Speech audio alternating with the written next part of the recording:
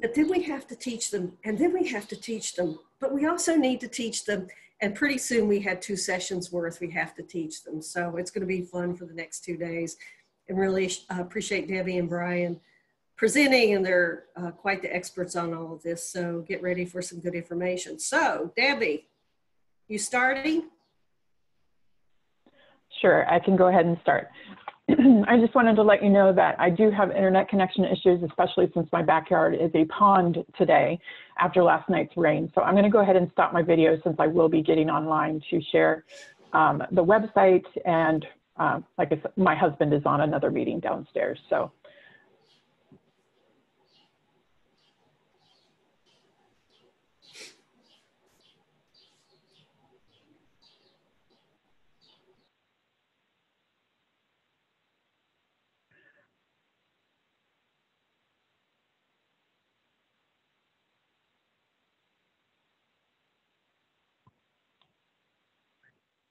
Just give me a second here. I'm trying to get the uh, chat window back open.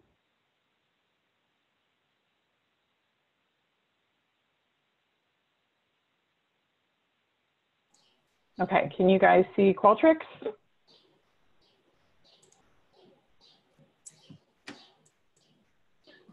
Yep, Debby, we're seeing it up there Um, now. Okay, somebody give me a verbal because I can't get the participant list back up or the chat window back up. So just shout at me if somebody starts to ask a question, okay? So um, I'm going to talk to you a lot about um, how we can communicate with our, our, our survey respondents through Qualtrics. Um, this is so uh, you can, um, for example, I'm going to show you how to use your messages library. I'm going to show you how to create a contact list um, so that you can distribute your survey uh, to your participants. And then also I'm going to show you how you can um, use Qualtrics to share um, results uh, with those respondents. If you, for example, want them to see how they responded to your survey, I'm going to show you a couple different ways we can um, share those results with the participants as they are filling out the survey. So I'm going to start off by creating a survey so that we can show you all these features. So I am in um, Qualtrics, and I'm just going to click up here where it says create a new project. And then I'm going to go ahead and create a survey. So I'm clicking over here on the left where it says survey. And then I'm going to copy something from the library. I'm going to copy from the OSU Extension Library. And if you do not have this option to copy from the OSU Extension Library, just shoot me an email, lewis.205, um, and I will get you um, added to this OSU Extension user group in Qualtrics. And then I'm going to go ahead and set up a test um, survey. Now I'm going to come over here. So I just picked the survey that I wanted to um, copy from the library, and I'm going to click over here on Get Started. You can also create a survey from scratch, but since that wasn't the focus of today's session, um, it was more talking about how we communicate through Qualtrics. I'm going to like refrain from um, making all these changes and stuff to the survey that I might normally do once I'm copying something out of the library. So to start off with, now that I have my survey created, I'm going to uh, look up here under contacts because I want to um, create a contact list to send to this, this survey to of people. Um, so let's say I already have a list of, um, for example, uh, this is the quality assurance survey. So I have a list of my 4-H members in my county um, and I want to be able to send them the survey and ask them to register for the quality assurance session. So if I click on contacts up here,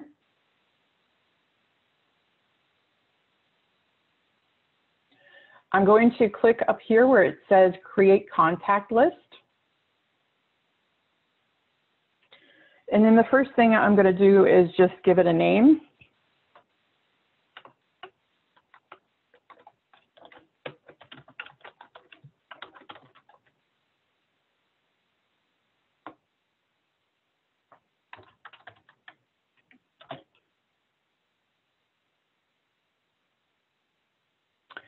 And then usually the first thing I do, um, you can import directly from a file. You can, uh, you have several options here, or you can add manually, or you can import from a survey. Um, I usually import from a file, and the first thing that I like to do is download the example document. This keeps my columns in the correct order, and it gives me column headers, so I know what I'm doing when I'm importing my survey. So I'm just going to click here where it says example document uh, down here in the lower right hand corner of my screen. And then I'm going to go ahead and just open this up. Um, has it switched to Excel? Can somebody give me a verbal yes? Yes. Okay, thank you. All right, um, and then I'm going to, I already have a file created over here. You can see the example document gives you John Doe as your example. Um, it also has a few other columns in here. So for example, external data reference, I never use this column, I, I skip it, but it has some other options over here. So embedded data A and embedded data B. If you have some embedded data that you want to import with this um, file, then you can insert that information here. So for example, um, I have my 4-H club name. So when you're creating uh, field labels for these other columns, um, make sure you don't um, put any spaces in the field label. And then I'm also gonna have just throw in there a phone number because it's data that I have um, that I wanna keep with the, each of the participants. I'm gonna go ahead and get rid of John Doe here because he's not one of my 4-H members. And then I already have my information in another file. So I'm just going to go ahead and copy it from one file to the other. Now, if you're watching this video later, or if you're wondering right now, I do have some fake names and email addresses in this folder, so don't try to contact these people. Um, they don't exist. So all I did was uh, do a copy and paste from my original file to this one.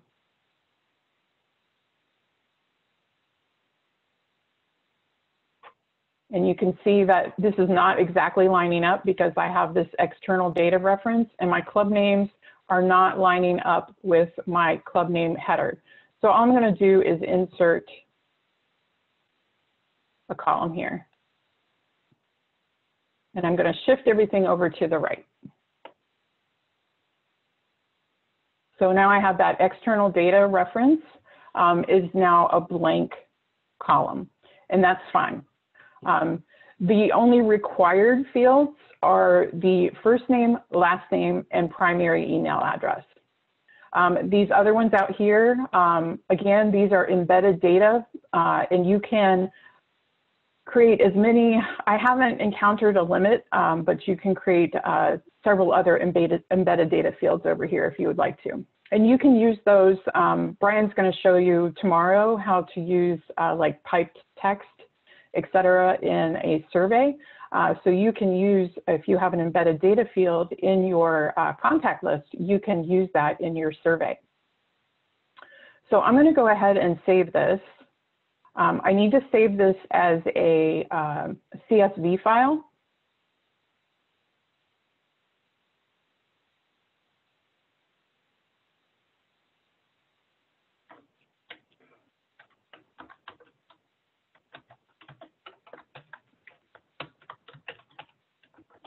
And you can see that since I've downloaded that demo file uh, or the, the example file, it's already set up as a CSV. But if, you, if it's not, like if you're working directly from Excel and you didn't take that step to download the example file, just make sure you select the, the, the file type as CSV. And I'm gonna go ahead and click on save. And you're always gonna get these messages. Are you sure you wanna save it in this file format? Just say yes. And then I'm going to switch back over to Qualtrics. And you can see my window is still open here um, where I was looking for my contact list. So I'm going to click on the Browse button here. And then I'm going to go find it.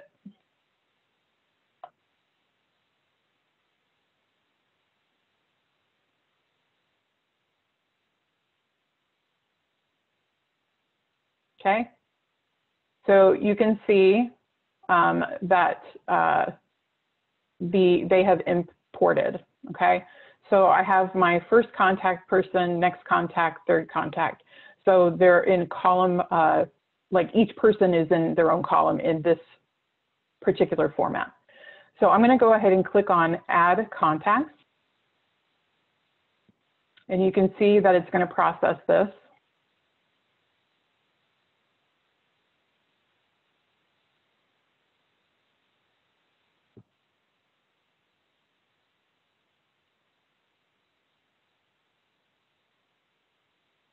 And there I have my, my contact list.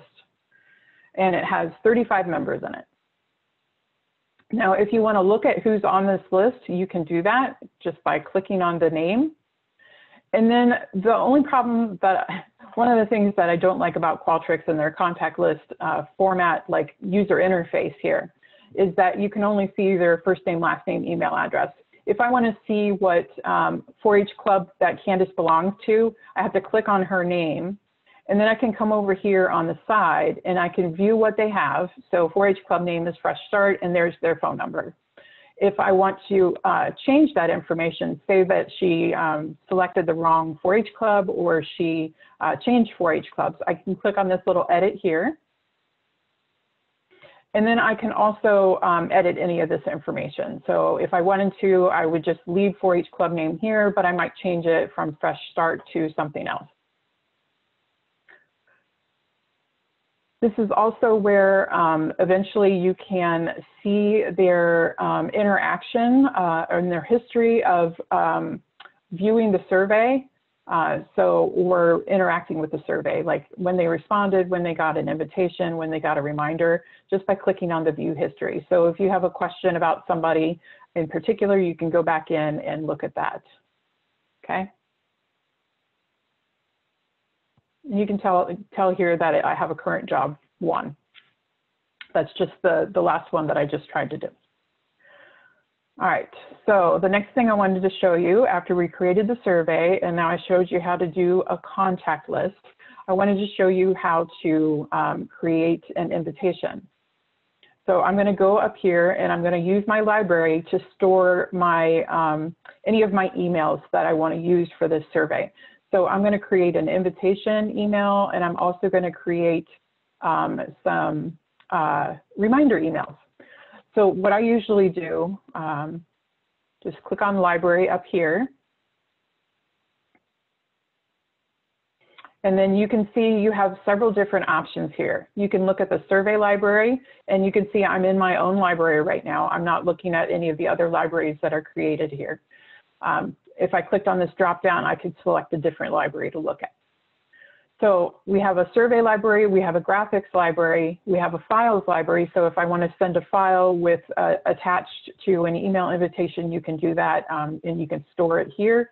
Um, and then I also have a messages library. So this is what I want to show you today is how we communicate with people. So I'm going to go to my messages library. And I have a lot of surveys in my account. Uh, so um, I just keep switching to my demo file over here because I folder because I have some um, already prepared uh, demos. So if we want to create an email invitation, um, you can sort, if you get a lot, start to get a lot of um, communications like email um, invitations or email reminders in here, you can also filter your list to view for example, only invite emails. So you can see I have one invitation um, email, and then I can also sort by reminder emails. So since I only have three in this folder, I'm just going to go ahead and show you this first one. So when you're creating a new message, um, you just click up here and um, on the new message button, and it's going to open up um, something that looks like an email for you. Uh, so some of the things that you're going to want to put into your email message. Um, first of all, you can name it.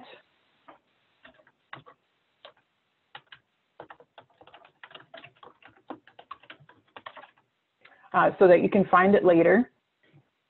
Uh, some of the components. Um, if you want to um, personalize this email, which is usually a really good idea, you could um, start off with a salutation and then uh, something that Brian is going to get into in more detail is piped text. But if I want to have um, hello first name, um, so that it's personalized, I would just click on this little A with the curly brackets around it. And then I'm going to come down here to this panels field. In Qualtrics, our contacts used to be called panels. Uh, so I'm just going to click on recipient first name. And then that's going to embed a code in there and it will um, include the first name when I send this invitation then. Some of the components you're going to want to include in an invitation, I usually like to include um, the purpose. So why is this email invitation getting sent? Um, and what, what is that purpose of that? And then also I like to include, um, uh, you need to include, of course, the link to the survey. I sometimes include it both ways. So this one will display a very long URL. Um, actually, this one will display uh, just text that says, take the survey. You can see here what that text looks like. Um, and this one here, where it says, um, or you can copy and paste the URL below, um, this is going to be the very long URL that Qualtrics automatically generates. The other component you're going to have to have is a um, opt-out link. Um, so those are some of the major components. What I also like to do is include a respond by date.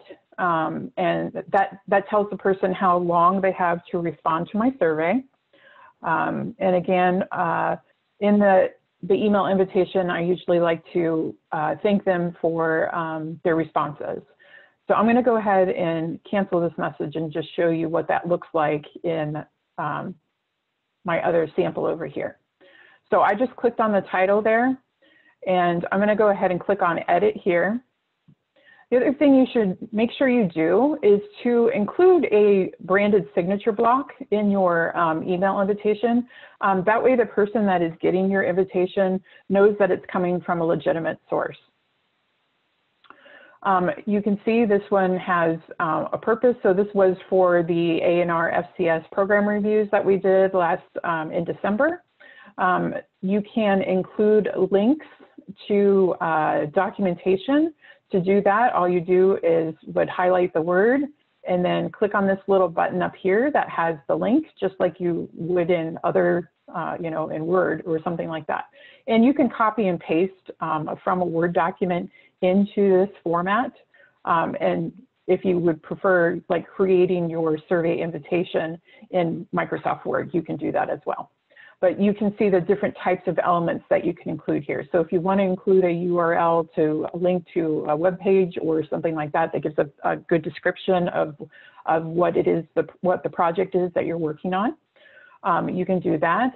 Um, you can see that there is the call to action uh, kind of uh, information about why we're doing this and uh, what's the importance of it. Then you can see here, this is the, um, the short one, and this one happens to say, click here to access the survey. And the way this one is inserted, this link is inserted, um, I'll show you here. It's up here, you um, click on uh, the pipes text again and do survey links. And then you can uh, insert um, the survey link here. And this one will say, take the survey in text. Um, this is the longer one. As I said earlier, you do the same steps, except you're going to select a different, a different one this time. So I'm going to click on the piped text. I'm clicking over here on survey links and then the survey URL. And then that's going to um, include that survey URL, the longer version of the URL.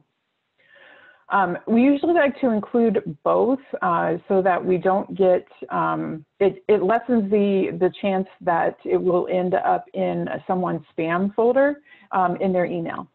Um, so uh, sometimes, um, depending on the security settings of the people that are going to respond to your survey, um, the security settings of their email program, it might uh, tend to end up in the trash. So I'm going to show you another trick for the from that we can try to avoid that. You can see here there's a deadline. Please don't, um, uh, please respond by December 18th. I also like to include um, forwarding, don't forward this message. Everyone is going to get their own unique URL because Qualtrics is going to track that for us. Also, I used the, um, the custom email address that we can use um, in our iteration of Qualtrics here at Ohio State. So I also include a message here that says, please don't email this uh, particular email address as it was created specifically um, to distribute this survey. Uh, because what's going to happen if they just um, try to type in that email address, it's going to go into a black hole. Nobody will ever get that message. Um, but I can show you how I control for that. Um, here you can see that if you have any questions about the survey, we gave another contact um, uh, here in the, the last paragraph. And then of course the signature block. And this is the kind that doesn't have the logo in it, but you can include the logo version as well. And then way down here at the bottom, you'll see that I have included the opt-out link. Uh, so it's in there, uh, according to Qualtrics, uh, you can still click on it, but I put it at the very bottom under the signature block um, uh, because people have less of a tendency to venture down below the signature block and look for an opt-out link. Um, for some of these things, like for example, if you were sending out an email invitation uh, to your 4-H members and they need, they're taking a livestock project and they need to sign up for a quality assurance session, then you don't want them to just click on an opt-out link because that means they're never going to get that email again, um, an email from you for the survey. Any questions so far?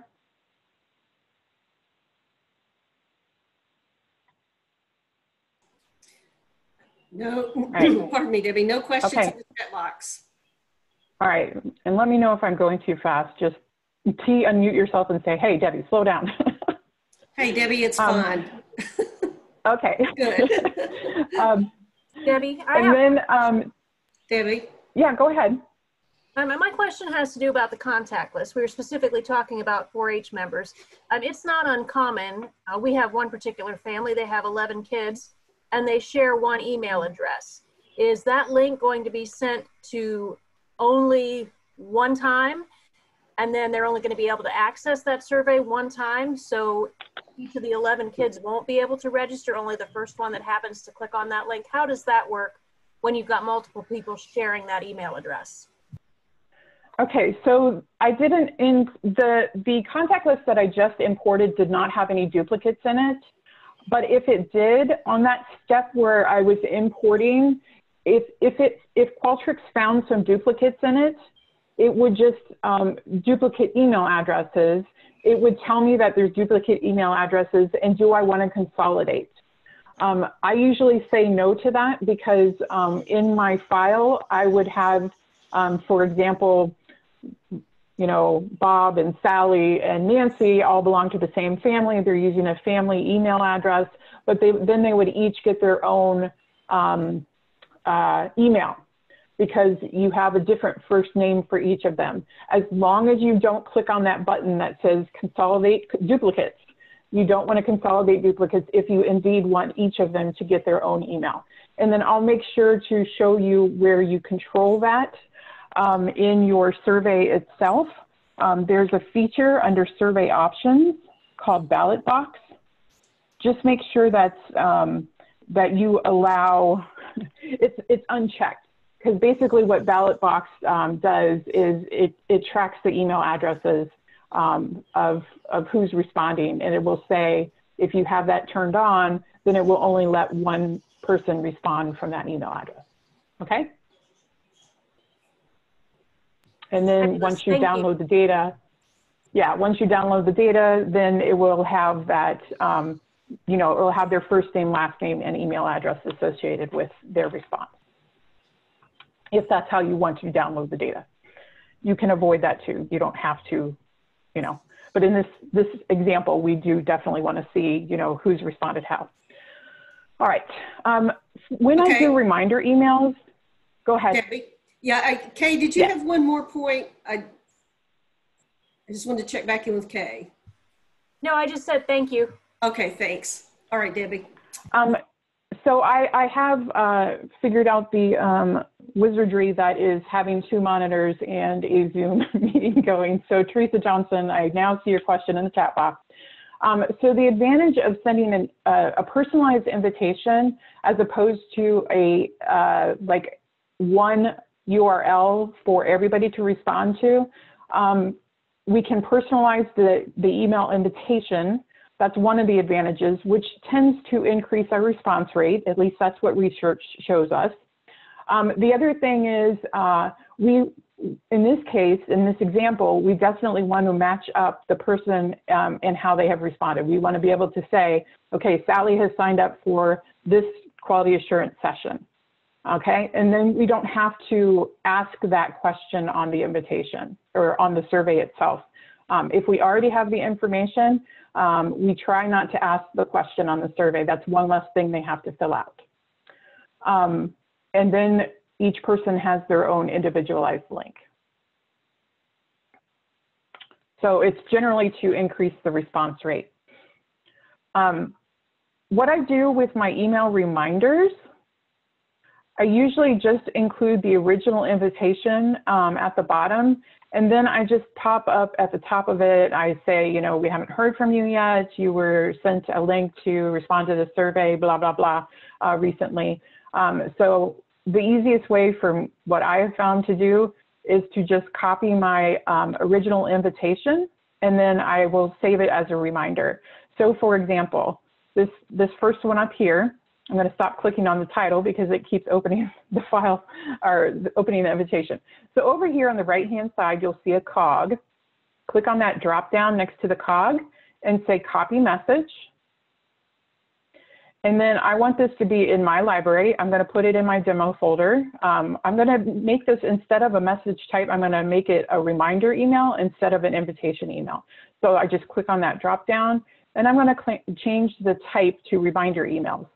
And that becomes important when you get into the survey um, because uh, it might, um,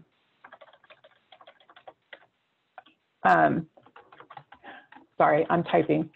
okay. All right, so it's important to um, make sure that it's a reminder email type because when you get in the survey, you can only send reminder type emails as reminders. I'll explain that better when I get to the survey. Um, but for right now, I have um, named this reminder number three, and then I'm going to click on copy, and you can see now I have another reminder here. Um, and again, if I want to edit one of these reminders, I just go in, I click on the title of the email invitation, and then there's this little edit button up here in the top, and then I can edit whatever I need to edit okay? So again, since I copied my invitation, this has got the original email invitation. So I would just come up here before this first paragraph, I would put the text in for whatever my reminder is, and then I usually say the original email invitation is below. Okay, so now that we have some email messages created, we have our contact list created, uh, let's go back to the survey and I'll show you how to use those. Hey, Debby.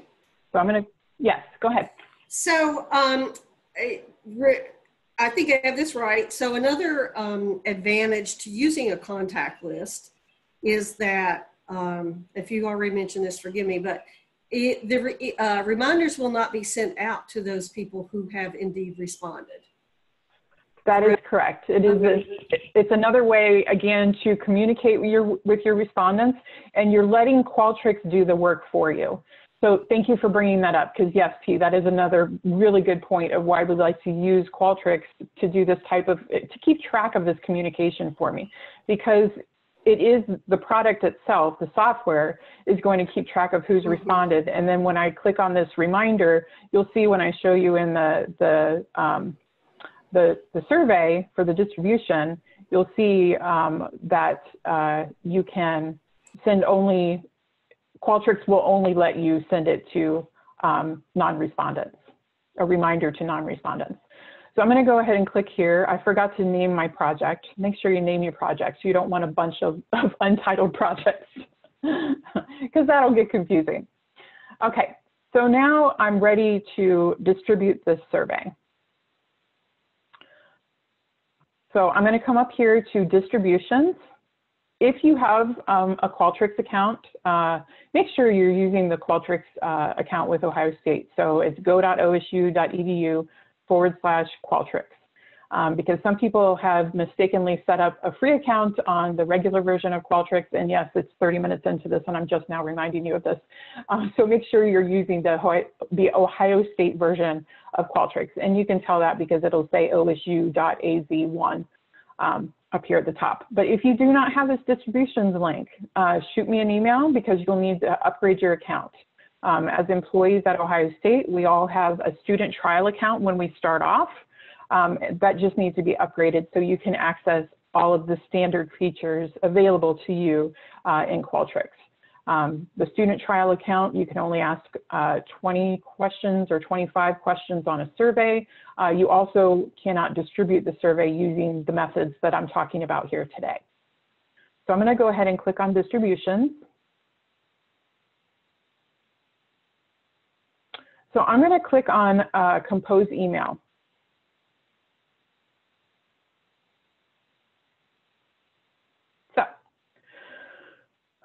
Here is the template for sending out the email. So the first thing you'll do, um, actually, even though it's up here at the top, I usually like to make sure that I have everything set before I actually select who I'm going to send this to. Um, and I think I forgot to put my own name. I usually put my own name in the contact list so I can send that as a test. Um, so I'm just going to go ahead and uh, search for myself in the, the library. So here's, here's some of the places where I am listed. So I'm just going to pick one of these. Um, so I'm sending it to myself because I want to test it first. So the from address, remember earlier when I was saying uh, I'm going to show you a way where you can um, increase uh, the or decrease the likelihood that it'll end up in, in a person's spam folder is by changing this from address. So at Ohio State, we have this feature um, for instructions um, for, we have this at survey.osu.edu email address that we can use. Um, and I will pop a Go link in the chat box here momentarily uh, to show you how to get to this document, but it's basically on the Qualtrics blog for Ohio State. Um, and again, it, it kind of, um, it, it does help reduce the, the chance that it'll end up in uh, somebody's spam folder. So I copied that, I'm just gonna add that in. So instead of no reply, I can do um, whatever I want to at the beginning of this, within reason, don't get too carried away. But since this survey is coming from me, I'm just gonna put my name in here. And you can use dots if you want to. Um, and then I'm going to put the from name is going to be Debby Lewis. But in my earlier example, you could see that um, I had uh, made those surveys for the program reviews come from Jackie Wilkins. So I had just put Jackie Wilkins here in the from at survey.osu.edu. And that's why I put that warning in the bottom paragraph that says, please don't respond or, or email that address because it's a no reply. Um, if I wanted to, if I was sending something out from, for example, the Spin Club uh, work group, um, I could change that to here and I, um, I could put that before the at survey.osu.edu and then I could put that as the from name. Reply to email address, it's usually best to leave your own email address in there. Um, again, if you put one of those no replies in there, um, then their message, if they just click on reply um, in their email, um, that message is not going to go anywhere or it's not going to go to the right person. Uh, send in one hour, you have several different options here. You can schedule when your survey will launch, um, or you can do send now. I usually select send now. I'm going to put a, a message, a subject message here, or subject for my message.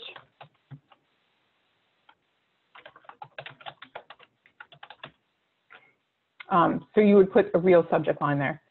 And then this is where I'm going to go to my messages library and find my message that I want to include here. So I click on this drop down next to load message. I go to my library. And then I'm going to uh, try to do a quick search because I've got a lot of stuff in here. Um, and you'll see that it's only letting me pick invitations.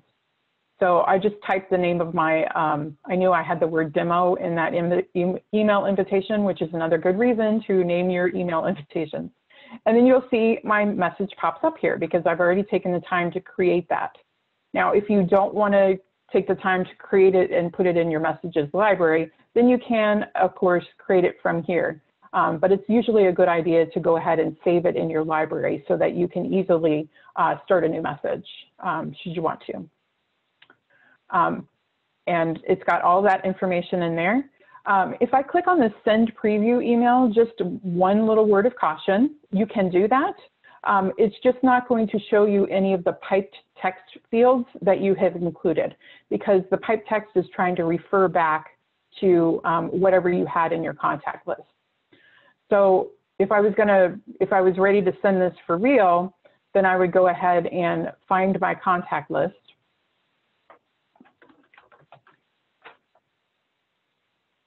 And then I would say select entire list.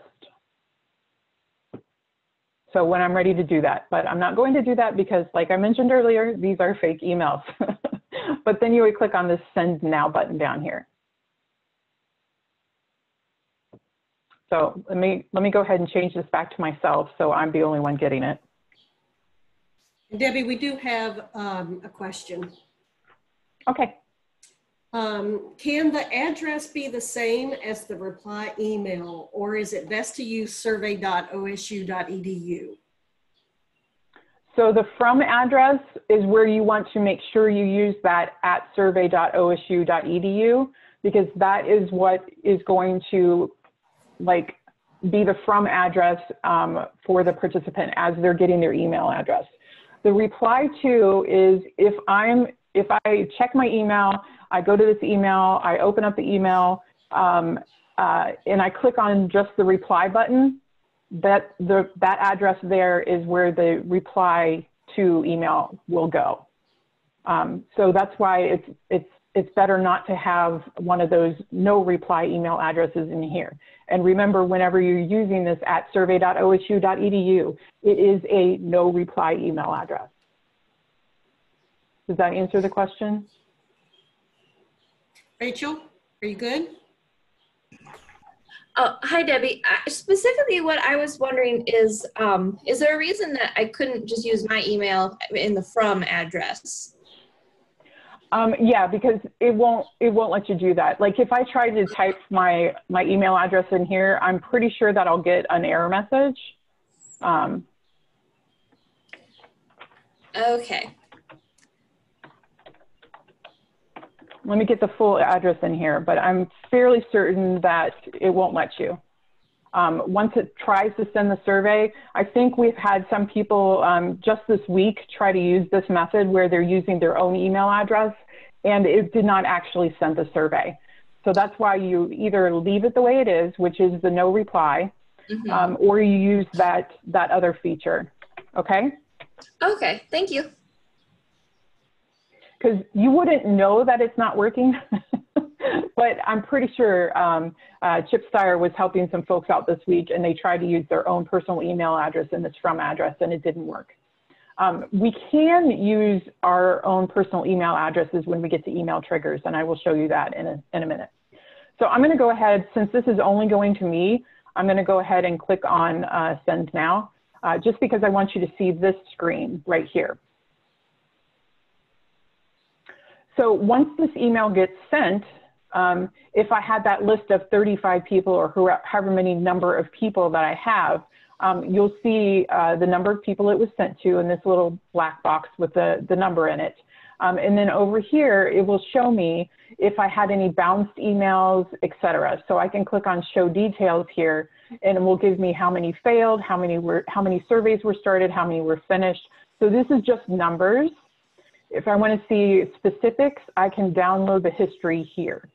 So all I did was click on this little down arrow and uh, you can click on download history. And this will show you um, a line for each person in your survey um, and like when they got the email invitation, when they started the survey, and if they've completed the survey.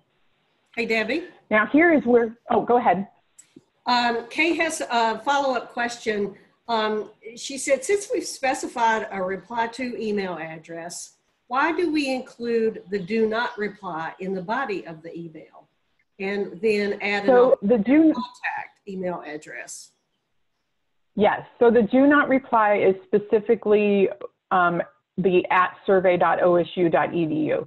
So if I, if I come back here and uh, view this distribution, that's going to show me what the email looked like.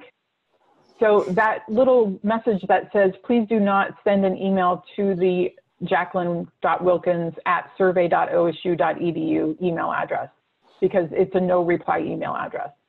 Um, the original version of the no reply uh, in Qualtrics says the words no reply, but that email address typically, it, it can end up in spam. Um, because of the mere fact that it has the words no reply in the from address. Uh, sometimes uh, people's uh, security settings on their email um, just will pop an email message that says no reply, or it's, if it's from a no reply, it'll just go to their spam and they'll never even see the survey. Um, So another Debby- good practice, go ahead. Would that, would it be a fair statement to say that, because this is a little, I mean, it's a little hard to understand. Is that a placeholder email address basically for that email?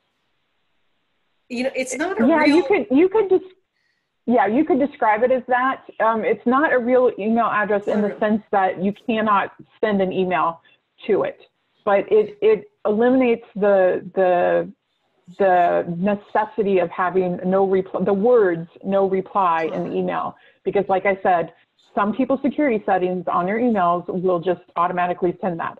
So another good practice to get into, um, if you if you have an audience that you are afraid that it might um, that email uh, with the invitation and the links in it might end up in their spam, um, if you have that uh, list of people, it's a good idea to send out a heads up email that has absolutely no links in it. That's from your own email address.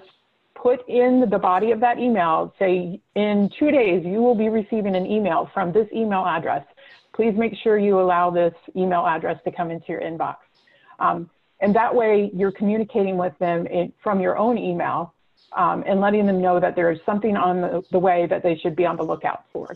Okay, Debby, we have a follow-up from Kay. And Kay, I'm going to ask you just to go ahead and, and unmute and follow up with this question with Debby. So earlier on, we were talking about the contact list, and we were talking about if you opt not to consolidate the duplicates at that point, it would allow you to leave those 11 kids have the same family email address in there. You've got your box open on the screen and it says on there zero duplicate emails. At this point, Mhm. if those 11 kids are still in there with the wilson3 at gmail email address, is it going to still send 11 emails or is it going to only send one? It should still send the 11 because even though they're duplicate emails, you have them identified separately in your contact list.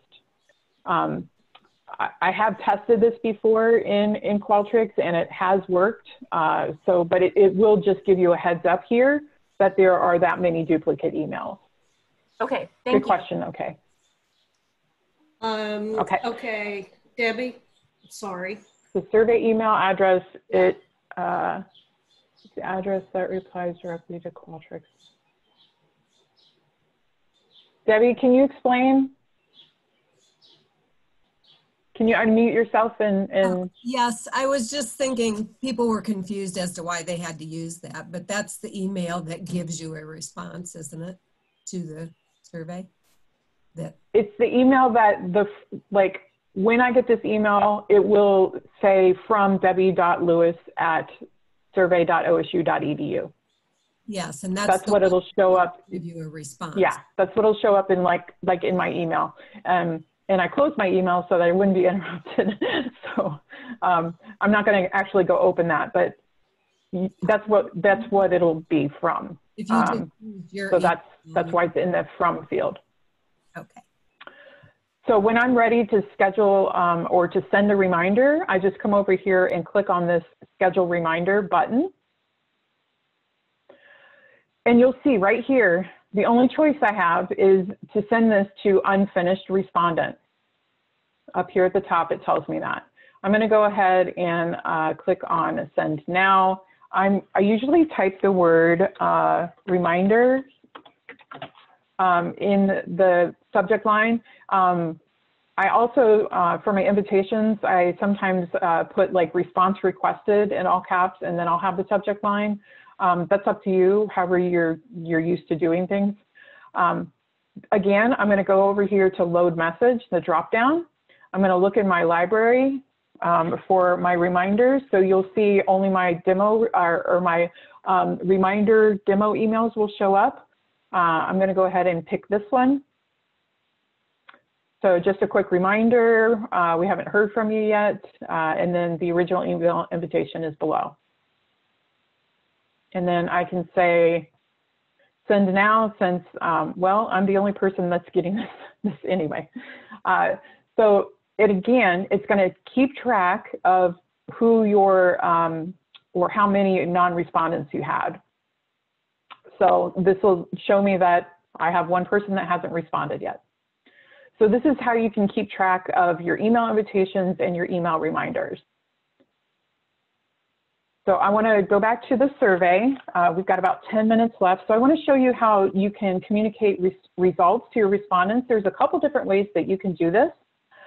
Um, again, we're still talking about uh, um, communication with our respondents in this, in this session here today. So under survey options is your first way. So survey options, here's um, where I was going to show you that uh, prevent ballot box stuffing. Make sure if you have duplicate email addresses um, that you have this unchecked. If you check this, you can only respond one time using that email address. And they'll get a message on the screen that says, we're sorry, you've already responded to this survey.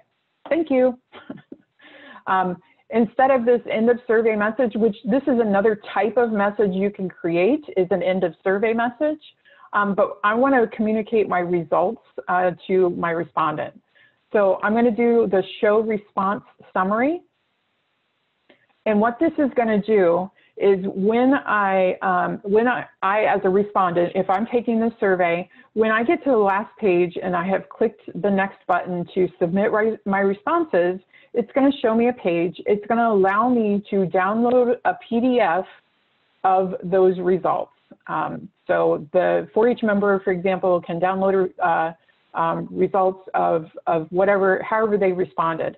And that's really nice because it will include every question that was on your survey, whether it was just a display question, a text display question, or whether it was a question they actually had to respond to. So I'm gonna go ahead and click on save there. Whenever you make changes to a live survey that has already been launched, because you see we, we did the distributions first, I just want to give you a reminder. You always have to come in here and click on this publish and then click on publish again because those changes will not be reflected um, to the people that are taking your survey until you have done that. And then that yellow banner will disappear. So the other way that you can send out um, uh, a person's responses to them um, is using an email trigger. So this is under your tools. Instead of survey options, we're going to go to tools this time. Hover over triggers and click on email triggers. So this one already has, um, because I used a template from the OSU Extension Library in Qualtrics, it already has um, the ability to send, it already, I already set up a, a trigger email in here. So I'm just gonna go ahead and click on this one. If I wanted to create a new one, I would just click here to add another trigger.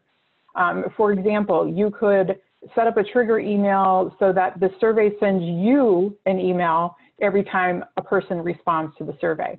Um, for example, that's how I have the uh, online triple ET request set up right now. Um, so I just want to show you a few things in here. So this is going to send an email on survey completion.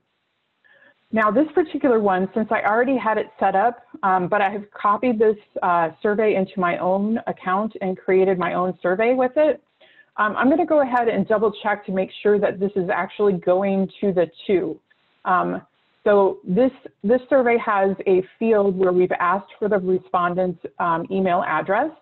So um, that's what I want the two email address to go because I want them to receive their own email, um, an email that says, here's how you responded. So I'm going to click on this little, uh, our little friend, the pipe text with the A with the curly brackets. I'm going to go to survey question.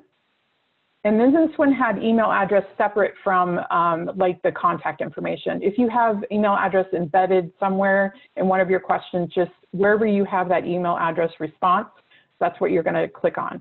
So I hover over that. I don't want them to, I don't want it to go to the question text because that's not going to go anywhere. I want it to actually send to the email address that, that they put into the question. So I'm going to go ahead and um, copy everything, or I'm going to cut this actually because I don't want it to be in my, uh, my actual email. So everything from the dollar sign to the last curly bracket, I'm using my keyboard shortcut, Control X, and I'm going to come up here and do Control V.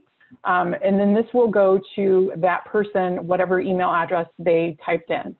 The from name, I'm going to do myself. Put my own name in here for the reply to email, I don't want them to reply to this trigger. That's, that's, I don't, I don't know where that's going.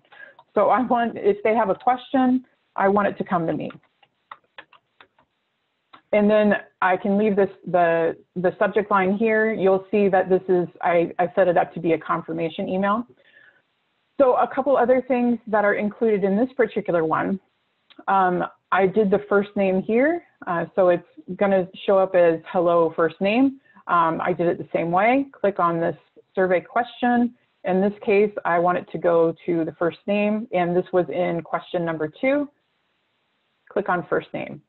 This one also has the option um, that it shows what they selected.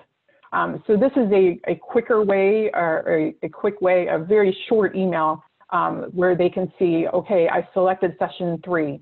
Uh, so I got this one in there using the same feature. Click on this pipe text. It's a little bit different because I'm still doing survey question, but this time I'm going to come down here to say, select the quality assurance session you want to attend. And then I'm going to say selected choice or selected choices. That way it will be whatever they selected um, that will display. So session three, uh, May 5th at whatever time. And I'm going to just change that text to red because it'll call it out and make it more visible. And then I'm going to make sure I put my signature block here. If I want to get rid of this yellow highlight, um, this was in a template. So I'm just going to, uh, this with the, the black with the white font, um, A, is the font, is the, uh, the background color. So I'm going to select automatic and that gets rid of that.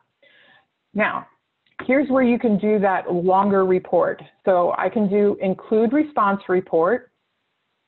And then I'm going to make sure I say show the full question text. If you don't select show full question text, it's just going to give you an abbreviated version of that um, question text, which might not make much sense to the respondent. So the only difference here between um, what I showed you earlier using the show a full report, um, using the survey options, and this one is the show full report is going to show all of the questions, even the text display only questions, um, whereas this one is only going to show the questions that they responded to. So the text of the questions they responded to, all of the other ones will be gone. So they won't see this, for example, they won't see this first question pop up or, or that won't be on that final report.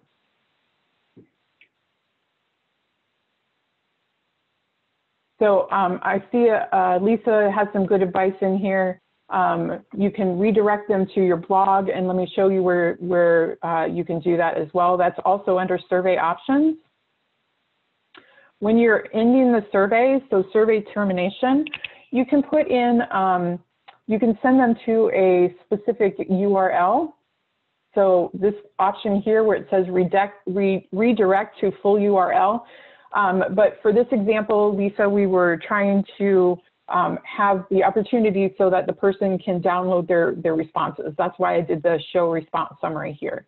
Because these are radio buttons, I can only select one of these options. But this is another way, if you don't need to show them that what their responses were, you can, like Lisa said, just redirect them to um, a URL. Okay, so that was a lot of information in an hour. Um, uh, if do we have any other questions? I think that's everything that I said I was going to get to, though. T, did I forget anything? I don't think so, Debby. I'm just so happy that we talked about email triggers. Those are very, it's a very useful tool. Are Yes, you it gonna is. Put that website where we get the survey.osu.edu? Thanks for the reminder. Let me pop that in the chat box right now. Once I find my meeting again. I've lost you guys. Oh, there you are. So wh- while Debby's doing that, I'm just curious. I know we've got some expert users here today. Uh, have people been using email triggers in their work? Okay, Lisa, anybody? Just cur. I'm just curious. I Uh, just, um, I've been using the action button, which a lot more time. What was that, Jackie? Was that Jackie? Yeah, I, I just found out about them two weeks ago, so Oh, I'm okay. excited about them. I've been using the action button, which takes a lot of thought. Okay, then you're ahead of me on because I haven't used actions. I've been using the email triggers, but on a lot of the help stuff that I was reading, it said that an email action might be better. But I have yet to take the time to figure out how those work because, like like Jackie was saying, it seemed like they take a lot of effort. And an email trigger, I've used those often enough that they're they're a little more intuitive for me, and I just haven't invested the time in the other yet. Yeah, me too, Kay. Yeah, they're they're fast and easy. I, I've seen the actions, but I I'm like I'm like UT. I haven't and. I haven't taken the time to figure them out because I found something that worked for me. So that's what I I share with other people. So Kaylee says she's used Use actions. Or no, Kaylee, you've used email triggers. Okay. But that was actually one of my questions was what's the difference between an email trigger and an email action since I've never taken the time to figure that out yet. Jackie, since you've used them. I was going to say, yeah, can you help us out there? It, it, they seem to be the same, just the email triggers are 10,000 times easier. Oh. So um, Teresa Johnson has a uh, question in the chat box. Um, so when I was showing the email triggers, um, you could set up a separate email trigger for each of those. Uh, for example, if you had like nine quality assurance sessions set up and you had a different Zoom link for each of those dates, um, you could set up a specific um, uh, email trigger for each one of those. So say somebody re- replied and they want to attend session one, you would just, um, up in the email trigger um, options, there's a place where you can specify, um, you can filter out uh, ways to um, add specific. So if they responded to session one, they're going to get this email that says, thank you for signing up. Here's your Zoom link. This is what you're going to need to get into that meeting. So you can specify it for each of those different respondents. Um, the way I was showing was just an easy thing that says, you know, you're, here's what you signed up for and you'll be receiving um, that email or the, the link to the Zoom room um, at a, you know, at a later date. So Teresa, that would be an even better way that you wouldn't have to go in and send those uh, Zoom links through your own email. Anybody else have any tips or tricks they want to share? I had another question about the email triggers. Is there a way to set Go it up, send at a specific date or time instead of the send in 28 days, 14 days, eight hours? So is our quality assurance deadline was, I don't know, whenever the deadline was for registration, but we always wanted to send a reminder email the day before that has that link in it for that mm-hmm. specific Zoom. But when you set up the trigger, you couldn't really set it up ahead of time because depending on when they completed the survey, is that how they they judge when it's going to send? Is it going to send 28 days from the time I set it up, or 28 days from the time that they complete the survey? You know, if I want it to go out Thursday for Friday's session, how do I tell it that?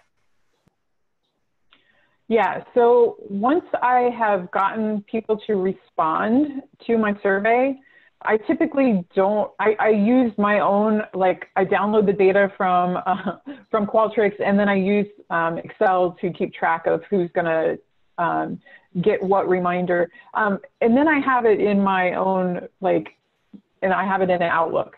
So I can keep track of, you know, who I have sent the Zoom link to um, instead of having to go back through and uh, go back through Qualtrics because I'm not sure, like, I can see specifically, hey, I sent you the Zoom link.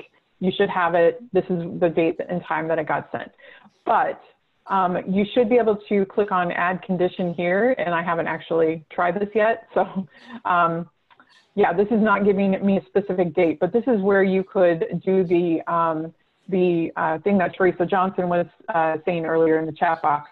Um, so if I wanted everybody that uh, signed up for session one, I could um, set this up uh, with the specific Zoom link in the embedded in the email itself um, by doing this question here, select question, um, the session you want to attend, and then everybody that responded with session one, um, they're going to get uh, this email uh, trigger that has this specific Zoom link.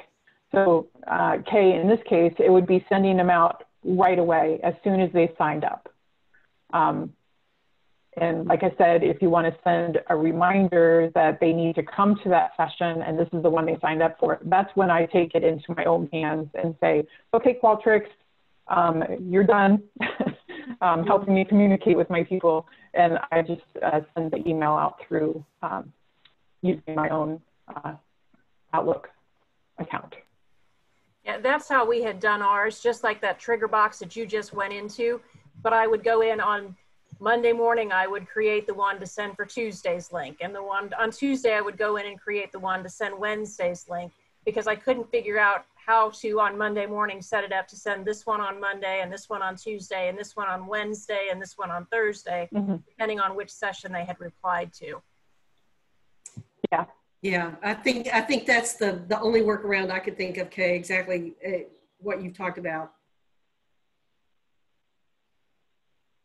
And it looks like that, I, it seems to me like Qualtrics should have what I always call the Southwest calendar, where you could go in and pick the specific day and specific time, but Yeah, I know you can do that with the reminder emails, um, but I've also found um, it's been a couple years since I did the whole schedule reminder, um, but I, I found that it was sending to unfinished respondents at the time I had set up the reminder. Even if it was, if it was scheduled for seven days out, it was sending to the people who hadn't responded um, at the time I set up that email reminder. So it can get a little bit confusing. Um, but like I said, it's, it's been a while since I used that schedule reminder. So I typically just go in whenever I'm ready to send out a uh, reminder email and I'll just set it up. Any other questions?